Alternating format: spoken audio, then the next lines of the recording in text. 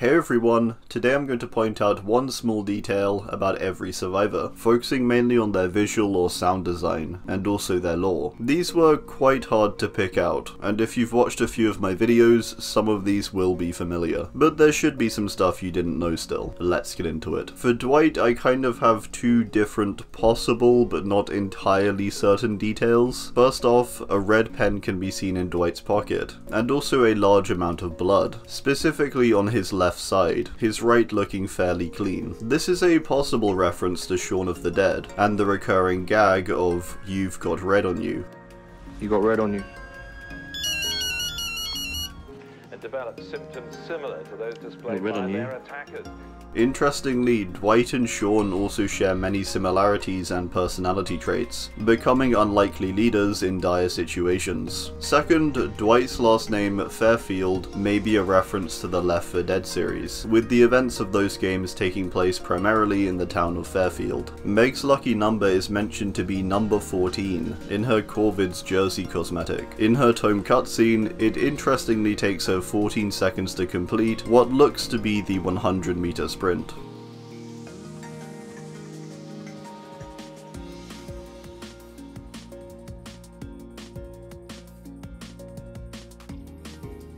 Claudette's favourite flower is the Ghost Orchid, a rare flower from Cuba and Florida, mentioned in a charm released in the Tome 6 Rift. Another plant-based thing for her is that Botany Knowledge features a quote, but that quote is not accredited to Claudette herself, like other perks are. Strange. Jake's likeness is that of Behavior Product Manager, Alex Lynn. Alex's toolbox is also named after Alex Lynn, the connection between all of these being their focus on sabotaging, Jake with Saboteur, and Alex's toolbox giving you increased sabotage speed. Alex Lynn was known to use a toolbox and go around sabotaging during games testing, which is why the sabotaging toolbox was named after him. Where most other characters have normal descriptions for their prestige clothing, Nea's are slightly strange, and seem far more relevant to Nurse than Nea. Most prestige clothes simply describe the clothing, and at least mention the character, but Nea's are just these strange, semi-related Nurse descriptions that don't seem that relevant to Nea. Aside her being part of the same chapter as Nurse, there's not much connection. Laurie does not have the likeness of Jamie Lee Curtis from the Halloween films. Her appearance is actually based on her Halloween comic series version.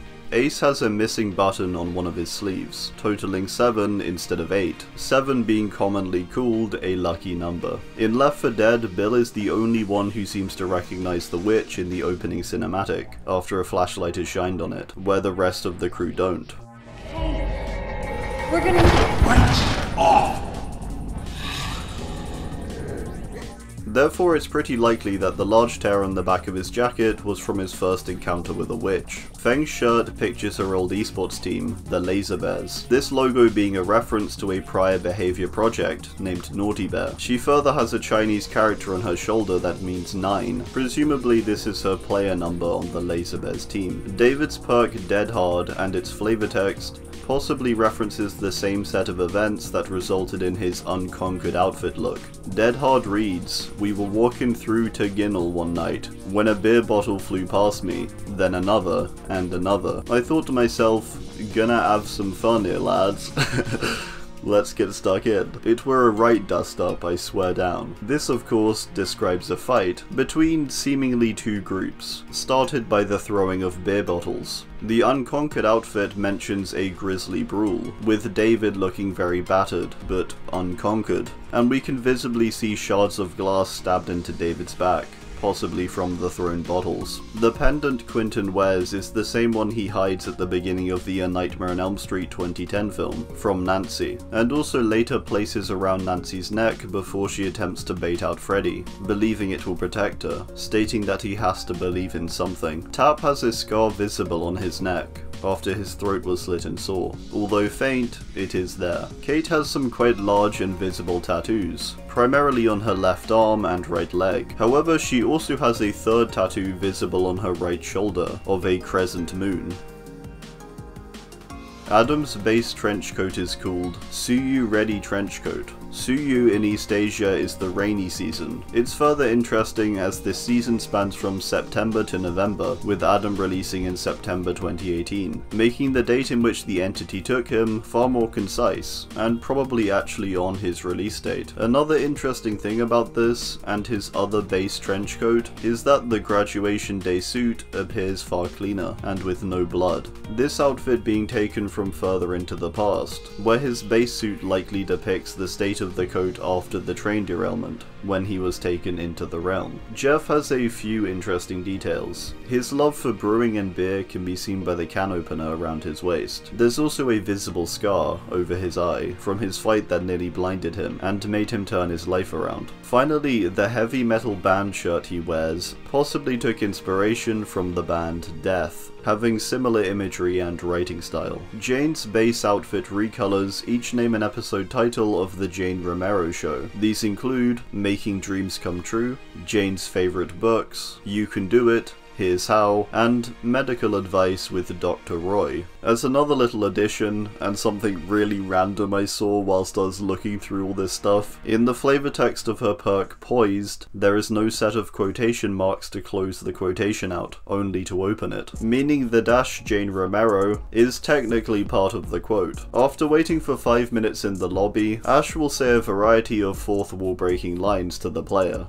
Come on, kid. Push the button. What is this, the staring contest? Come on, let's go. Nancy's necklace, although hard to make out, is a pair of ballet slippers, which she wears at points throughout the series. Steve's hair cosmetic named Perfect Hair references the season 2 scene with Dustin on the train tracks. Dustin says, not everyone can have your perfect hair. Not everyone can have your perfect hair, alright? It's not about the hair, man.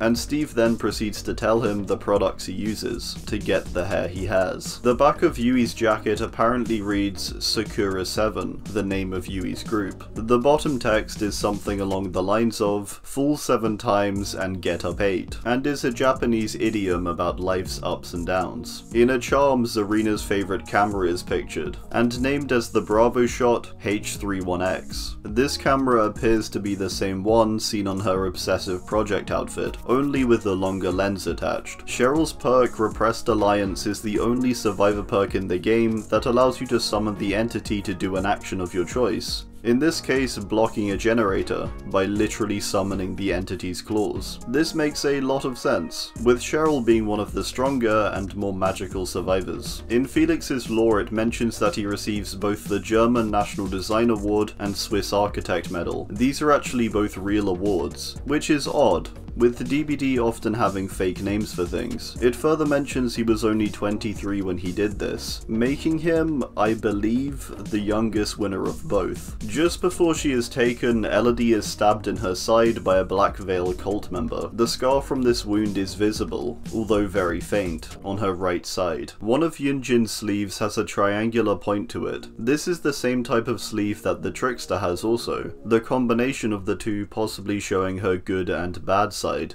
or it's possibly just a visual thing to show the link between artist and producer. Both Jill and Leon have never met each other before, with them technically only meeting for the first time after entering the realm, so that opening cinematic for the chapter is actually their first meeting. for an extra detail for them both too, they both possess tools around their belts. That probably should have been removed. Jill has a literal knife, and Leon has a set of handcuffs. They also both have radios. Michaela is the only character in the realm to have tattoos that include multiple colours. The clearest one is visible on her waist. In the Portrait of a Murder chapter trailer, we can see a baseball bat, glove, and also encased bull on his desk, all in Jonah's room. When brightening this image, you can further see what looks to be another baseball and glove on the floor. I guess he really loves baseball. The images of Yoichi's perks, Parental Guidance and Boon: Dark Theory are taken from the original Ringu film, as almost exact shots. Parental Guidance depicting a scene with Yoichi as a child in the rain. Boon: Dark Theory depicting the character often referred to as Talman. Alright, well, that's gonna do it. I do hope you enjoyed, and be sure to drop your own thoughts or details you know of down below. Thanks, and goodbye.